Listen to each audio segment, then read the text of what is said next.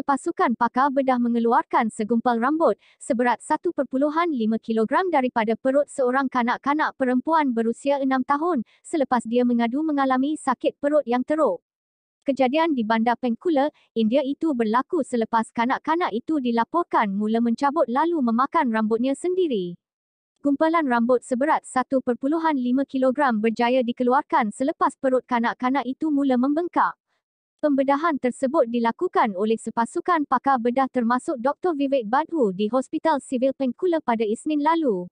Sumber mengatakan, kanak-kanak itu kini berada dalam keadaan stabil dengan pemantauan doktor untuk memeriksa keadaan kesihatannya. Pesakit juga ditemani oleh ibu bapanya. Tabiat memakan rambut sendiri dikaitkan dengan masalah mental dipanggil trichofagia atau lebih dikenali sebagai sindrom Rapunzel yang dinamakan sempena karakter kartun terkenal yang berambut panjang. Ia turut berkaitan dengan satu lagi gangguan dinamakan trichotillomania atau gangguan menarik rambut. Sebelum ini, kes serupa pernah dilaporkan pada 2020 di negeri Jerhan, Timur India apabila doktor-doktor menemui gumpalan rambut seberat 7 kg daripada perut remaja berusia 17 tahun.